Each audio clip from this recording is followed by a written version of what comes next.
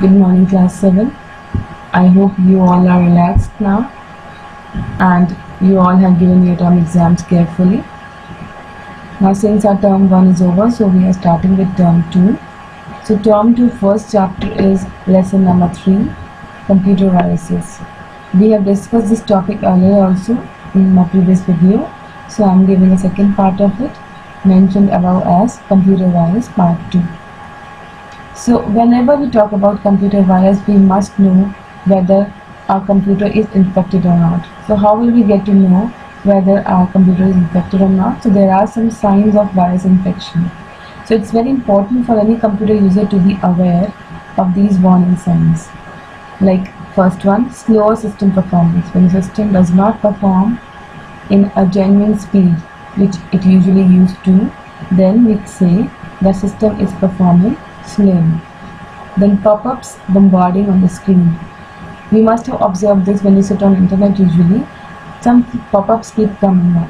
So to avoid them, we click on block the pop-ups. But that's not the solution. That doesn't mean that your have gone. So some pop-ups can be a reason for virus. Programs running on their own.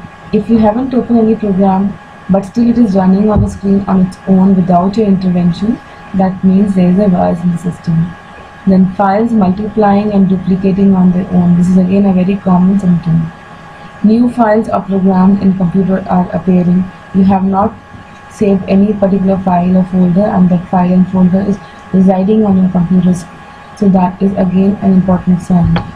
And then files and folders getting deleted or corrupted itself and the sound of hard drive is also sounding something different. So these are some signs.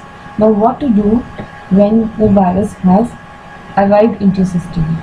So if you come across the above mentioned signs then there are chances that your computer is infected. So first one is to um, you need to treat that. So not to delay, immediately stop all the commands and download any antivirus software. If you are unsure what to do then get assistance of an un of an authorized computer personnel if you are confident enough, then start investigating on your own by allowing the below mentioned steps which I am about to tell you.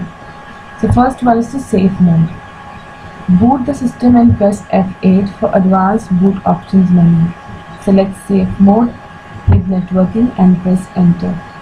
You might need to keep repeatedly pressing to get onto the screen. Working on safe mode helps handle nefarious files as they are not actually running or active. Last but not least, the internet spreads infection, so remove the connection. Next is the next important step which we should follow is to delete the temporary files in our from our system. So in order to free the disk space, delete temporary files before starting to run the virus scan. This approach helps speed up the virus scanning process. The disk cleanup tool helps in deleting your temporary files on computer. Here's how you get, I mean, how will you delete these files? Now for that I'm telling steps. Click on start menu, select all programs. Now click on accessories, system tools and then disk cleaner. This will help you a lot. Okay, next important procedure which you should follow when you find a virus is download virus or malware scanner. If you are under the impression that virus scanners clean, cleans up the bad stuff on your computer, then sadly, that's not true. It helps in eliminating standard infections and not sufficient to remove the latest malware infections.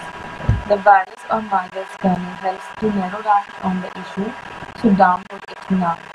In order to better protect, go for real-time antivirus since it automatically keeps checking in the background for viruses. Also important to know is that don't install more than one real-time antivirus program. If you do so, your system will start behaving weirdly.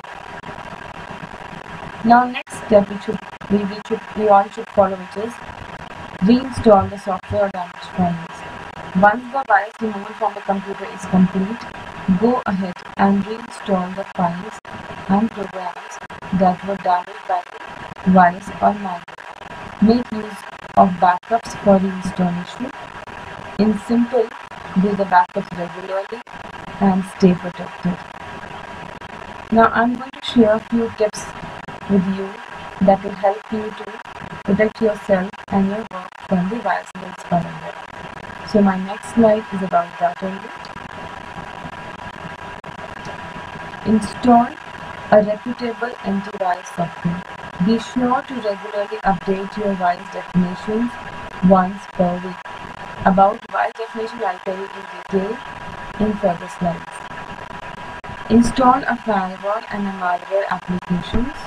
Firewall will help you to monitor the incoming and outgoing network traffic and also helps to detect and remove unwanted spyware malware. Beware of attachments.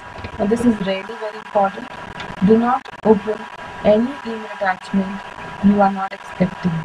Virus come with some very nasty messages to trick you so that you can open them.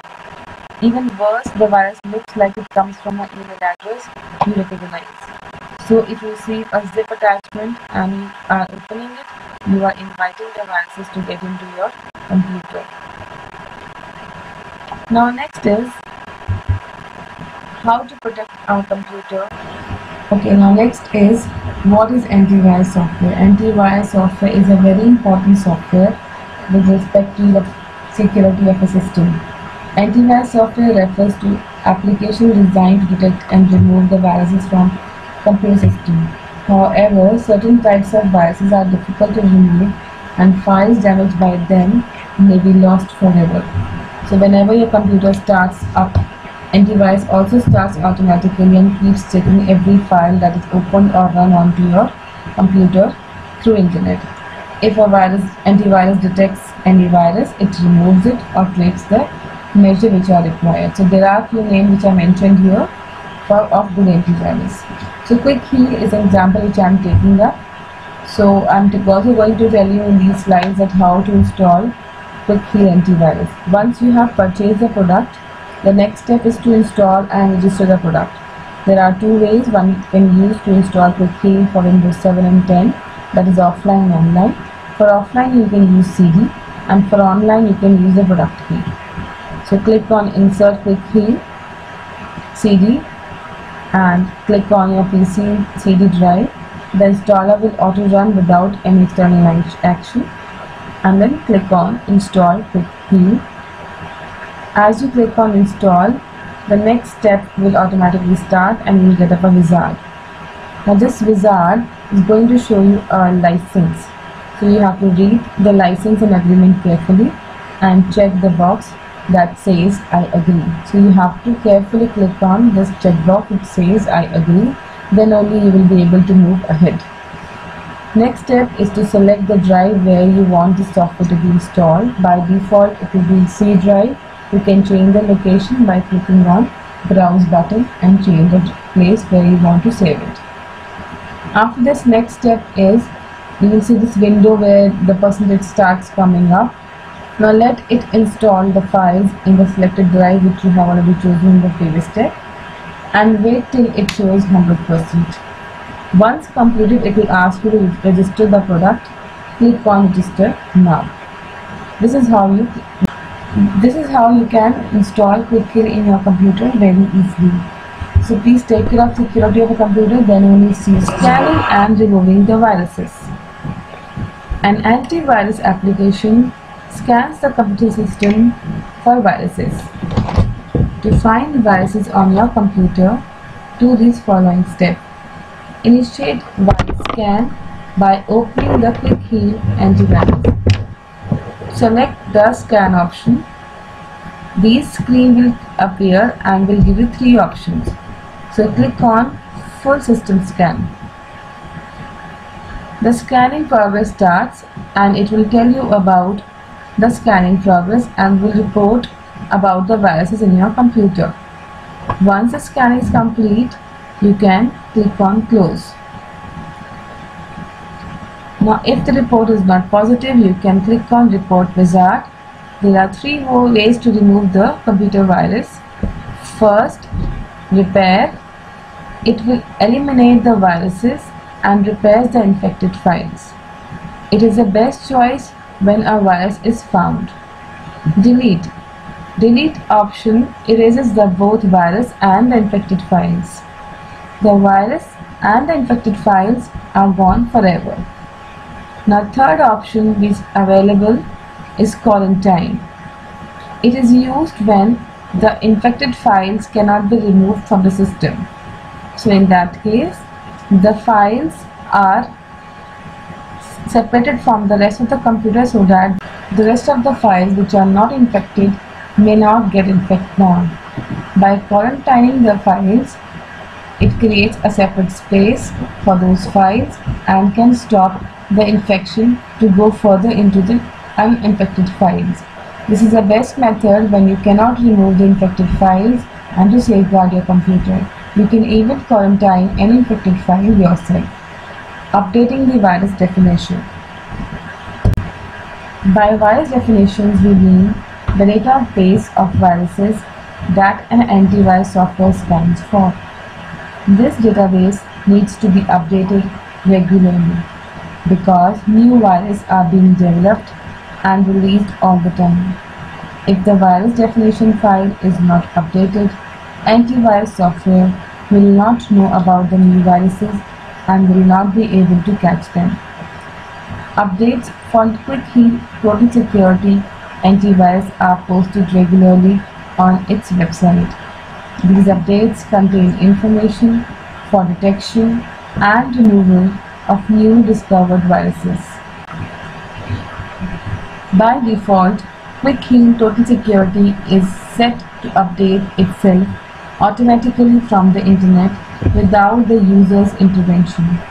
The only requirement is that the computer should be connected to the internet. Nowadays, free antivirus programs such as AVG and Avast are becoming popular. Microsoft Security Essentials is another free security application that many people use. Microsoft Security Essential comes free with genuine Windows operating system. You can use Microsoft Security Essentials to protect your computer against viruses, spyware, and other malicious programs. It is easy to install and use, and it runs efficiently in the background.